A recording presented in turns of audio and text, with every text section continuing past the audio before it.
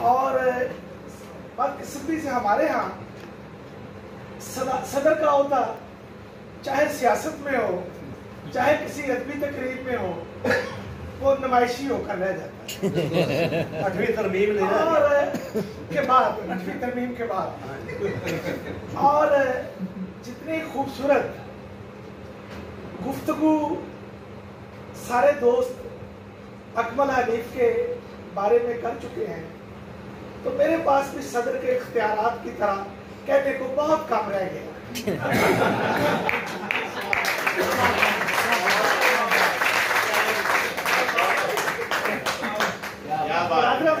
अख्तर खान ने बहुत अच्छी गुफ्तगू की किताब के बारे में। बाकी हम स्कूल में कॉलेज में पढ़ते आए।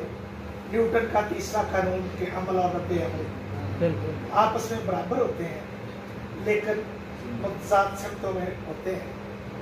लेकिन मेरे ख्याल में अकमल अलीफ का सबसे बड़ा कमाल ये है कि इसने हमारी समाजी ज़िंदगी में इस थ्योरी को गलत साबित कर दिया। उसकी बड़ी वजह यह है कि अकमल ने फूल का जवाब भी फूल से दिया क्या कहने और पत्थर का जवाब भी फूल से दिया। ऐसी कई मिसालों से इसकी इसकी किताब भरी पड़ी है। बरादरम सफ़ी अमदानी पेशे के एतबार से पुलिस अफसर है। शायर भी बड़े कमाल के हैं।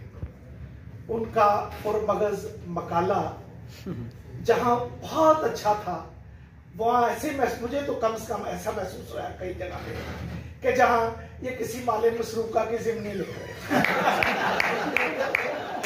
उन्होंने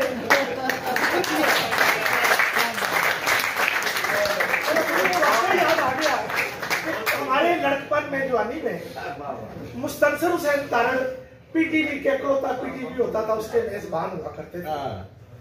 तो वो मरहुमा नाजिया हसन का गाना था। कि टाली पे थले बह के आकर ये प्यार प्यार गल्ला।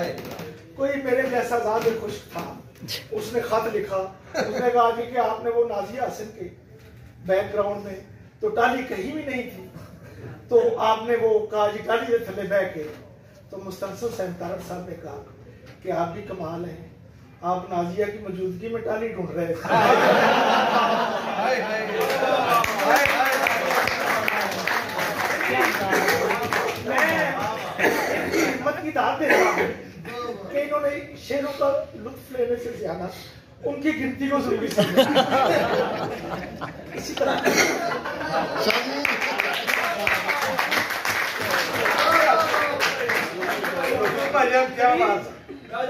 सादिक साहब ने भी अपनी सारी गुफ्तगू में जहाँ इसके अशार का ज़िक्र किया, वहाँ अपने इंजीनियर होने का मुकम्मल सबूत दिया। तो चाहिए था कि खारे मिट्टी का जो तनासब इसकी शायरी में है उसका भरपूर तरीके से इन्होंने अजहार फरमाया।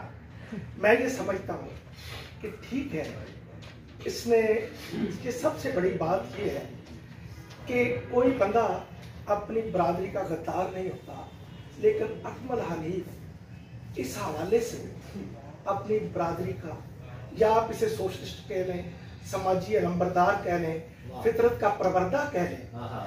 ये इस बंदे ने देखें जब से ये कायनात है मेल हम मेल डोमिनेटेड सोसाइटी में लेकिन आदमी या इंसानियत के खिलाफ अकमल हनीफ ने जानवरों परिंदों और दरख्तों के हक में आवाज़ उठाई है क्या कहने? इनका इस्तेहसाल हो? रहा है। क्या कहने यही नहीं कि ये जो हमारे मजबूर और मजबूर लोग हैं मुझे आप बताएँ हमारी रवायती कदरों में किस यार दादे के पास किस पोते के पास इतनी फुर्सत है कि वो अपने दादे का बोझ अपने दादे के पास बैठ जाए उसे वक्त दे सके।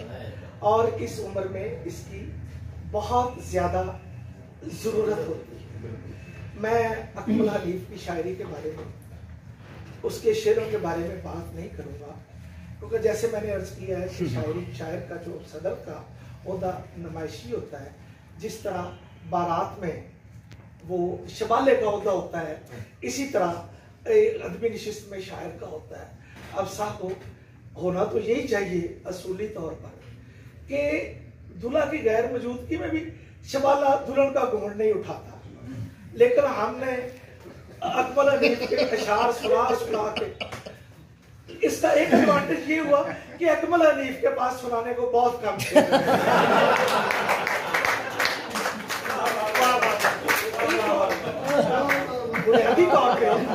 शबीर शाह में और अकमल हनीफ में एक कदर बहुत मुश्तरक ये अकमल हनीफ भी और शबीर शाह भी ये ज़िंदा मज़ारों से मुर्दे उठाते हैं। सर, मेरी शबीर शाह एक दिन अचानक मैं बीमार आदमी हूँ। कोई पीआर नहीं है ये मेरे घर प्रोग्राम करने के लिए पहुँच गया। इसी तरह अकमल हनीफ से मेरी शनासाई हुई। अचानक मुझे एक दिन अकमल हनीफ का फ़ोन आया कि जनाब आप हम आप हमारे यहाँ एक तकरीब है।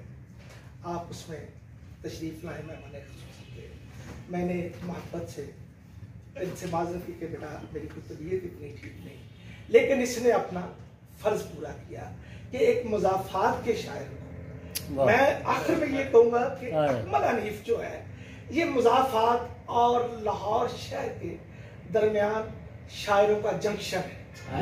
ये वो जंक्शन है अयाम पैलेस वो जंक्शन है जहाँ पर मुजाफाती गाड़ियों को बड़े शहर के बड़े बड़ी ट्रेनों के न्याज हासिल होते हैं। और ये इतना अच्छा मेजबान है कि